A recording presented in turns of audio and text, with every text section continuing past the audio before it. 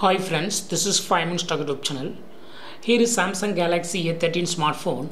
In this video, you will know whether S Secure is showing or not in my phone Samsung Galaxy A13. If S Secure is not showing on your phone A13, you will probably search on YouTube, but you will find many fake videos.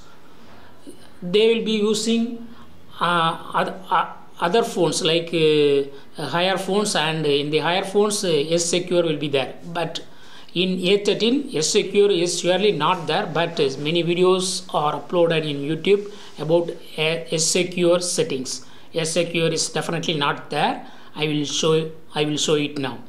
I will show show it now. How where, where is S secure?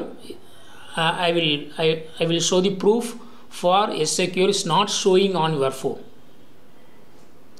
go to the settings of a phone and go to biometrics and security. Go to biometrics and security. Here S secure is not available but in some of the videos uh, they will be showing here only S secure but uh, they will not use they didn't use Samsung Galaxy A13 they used uh, other mobiles and given the title Samsung Galaxy A13 that's why uh, uh, that's why you are seeing that video and you'll be confused. So S secure is not supported in this phone. In higher model only it is supported. Thanks for watching. Bye